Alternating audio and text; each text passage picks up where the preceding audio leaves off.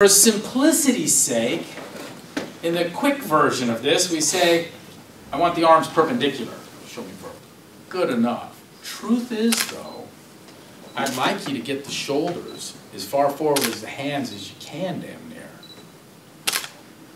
Now, when we were cueing it like so, we'd say the arms are just straps, they do no pulling, and it kind of makes sense that if they were just a pendulum, if it's just a tow rope or a chain, they would hang perpendicular. But it's really not what's going on. The reality of the movement is that I want the load to sit directly below the scapula. It's a natural loading plate for the torso.